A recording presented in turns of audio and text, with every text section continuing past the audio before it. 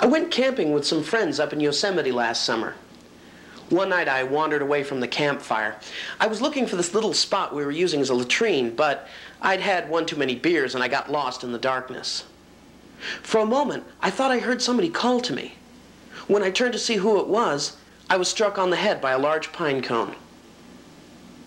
When I regained consciousness, I found myself confronted by several small fur-bearing animals.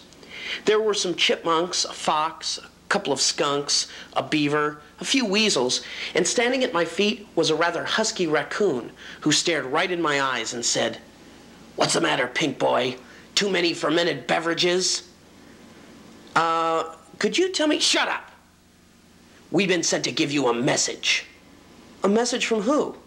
From the Loyal Order of Lower Mammals, Northern California Division, he barked back, and all the animals lifted their paws in some sort of salute to their organization. Chip, chip, chaw, they shouted. We want you humans to know that we're sick of your stinking attitude towards nature. It's bad enough what you're doing to the ecosystem, but what really cheeses us off is the way you portray us in cartoons. You always make us out to be dopey little freaks with silly grins and speech impediments.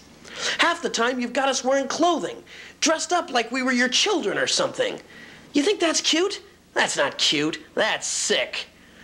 And why are you always creating these bizarre myths about us? For instance, you say we raccoons wash our food. We don't wash our food. We soak our food in water because it's the only way we can digest our food. We don't have salivary glands. Stop trying to give us human qualities. And possums. Possums don't play dead. They have narcolepsy. You've taken a traumatic sleep disorder and tried to turn it into something cute. What's wrong with you two-legged jerks anyway? Oh, I swear we're gonna have to bump you off like we did the dinosaurs. Wait a minute. You guys killed the dinosaurs? You're damn right we killed the dinosaurs, and we do it again in a minute. Those fat, crusty, walnut-brained losers. Of course we iced them. What do you think it was, mass suicide? They were no match for us. We're warm-blooded, nocturnal.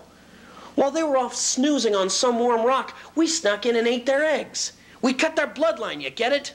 Hey, and don't think you soft-skinned know-it-alls are going to be any more of a challenge. You know how we're always rummaging through your garbage at night?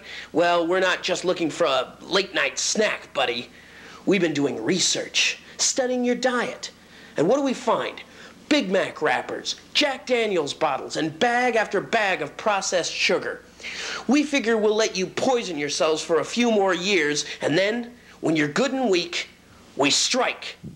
We're going to relieve ourselves in your water supply. We're going to gnaw our way through your wires and cables. We're going to run rampant like kamikazes into your traffic, causing monumental accidents. The day of the woodland revolution is at hand. Chip, chip, chaw! The other animals shouted once again, and once again I was struck on the head by a large pine cone.